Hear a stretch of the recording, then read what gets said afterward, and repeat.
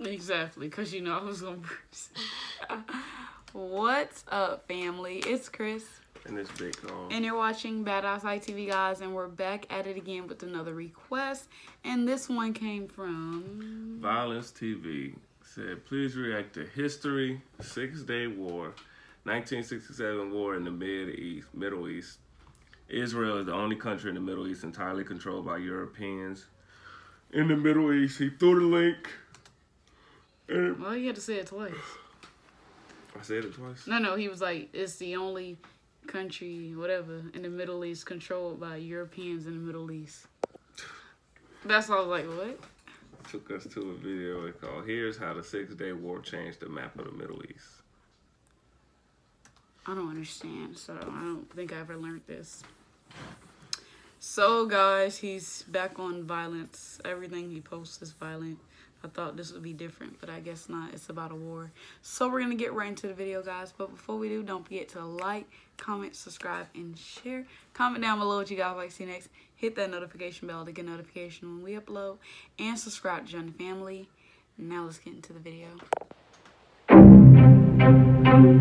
On June 5th, 1967, the largest armed conflict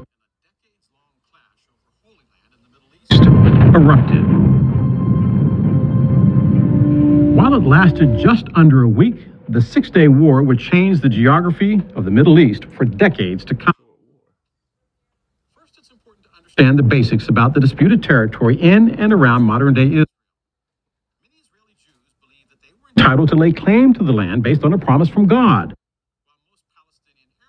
Ancestors lived there for hundreds of years, believed they were the rightful inhabitants. In May 1948, Israel, with authority from the United Nations, formally declared its independence. In doing so, the Israeli government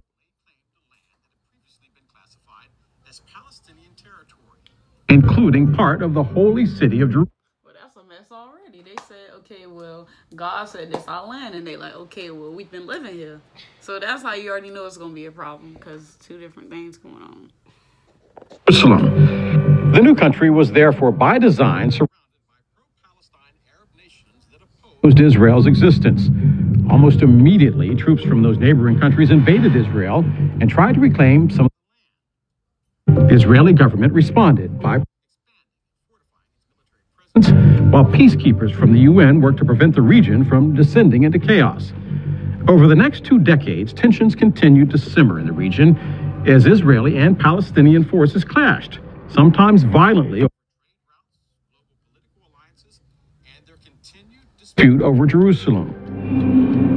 In the spring of 1967, Egyptian President Gamal Abdel Nasser mobilized troops in the Sinai Peninsula, requested the removal of United Nations peacekeeping personnel, and blocked Israeli ships from passing through the Straits of Tiran. Moves designed to further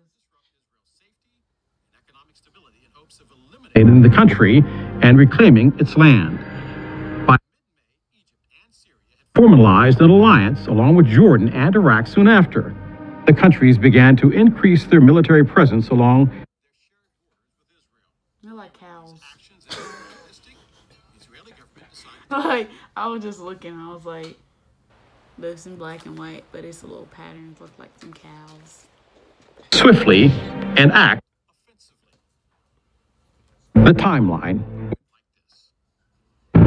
On June 5th, the Israeli military launched simultaneous preemptive attacks. The first strike strategy was a resounding success, as Israel's air assaults decimated the Egyptian and Syrian air forces before their planes had even Assault not to be a success.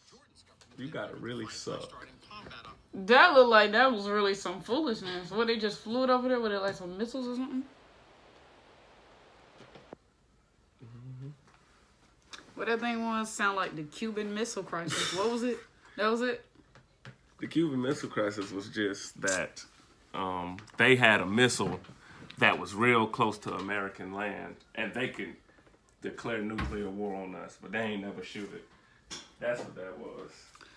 I just remember it was by some missiles. I didn't know if they shot it or what. No, but they just had. I think they had one. And Cuba is right there, so it was in Cuba, but it wasn't ah, our missile, and Cuba is like really close to us. So They it's was like, like, if they want to it play, down. it's like if America want to play, we'll end all of them. And so we had them take the missile down. operations in West Jerusalem. Faced and were quickly overmatched by Israeli With the Arab Alliance's air forces incapacitated, Israel was left with advantages on the ground, allowing their troops to expand in multiple directions across the region, overpowering their Arab foes and expanding Israeli territory. By June 7th, the United Nations Security Council called for a ceasefire. The Jordanian leadership accepted immediately, and a significantly weakened Egyptian government did the same on June 8th. The Syrian military retreated from the disputed territory of Golan Heights on June 10th, and the ceasefire took effect for all parties involved. More than 10,000 members of the pro-Palestine Arab Wow. hundreds of thousands of refugees from the captured territories were immediately placed under Israeli rule. Nearly 800 Israeli troops were also killed. Oh, oh. Six Day War, Israel spanned 7,200 square miles, roughly the size of New Jersey, and its population was less than 2% of the entire Middle East.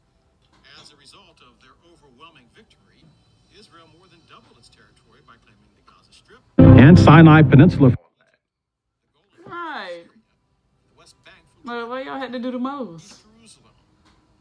The war may have only lasted six days. Its impact redrew the map. They did all that in six days. Uh oh, what to say? Only person I know did more than that in six days was God.